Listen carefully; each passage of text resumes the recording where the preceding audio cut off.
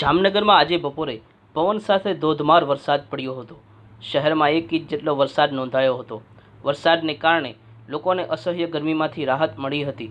તો બીજી તરફ અનેક વિસ્તારોમાં વીજળી ગુલ થઈ જતા લોકોમાં રોષ ફેલાયો હતો.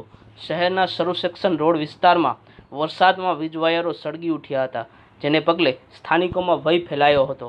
સદનસીબે આ ઘટનામાં કોઈ જાનહાનિ થઈ નથી. માત્ર એક ઇંચ વરસાદે પીજીવીસીએલની પ્રી મોન્સૂન કામગીરીની પોલ ખોલી નાખી હતી. કરોડોના રૂપિયાના આંધણ કરી કરવામાં આવેલી પ્રી મોન્સૂન કામગીરી વરસાદ પડતા જ બેકાર સાબિત થઈ જાય છે. ત્યારે આ મુદ્દે વ્યાપક ભ્રષ્ટાચારનો સવાલ હંમેશા ઉદ્ભવે છે.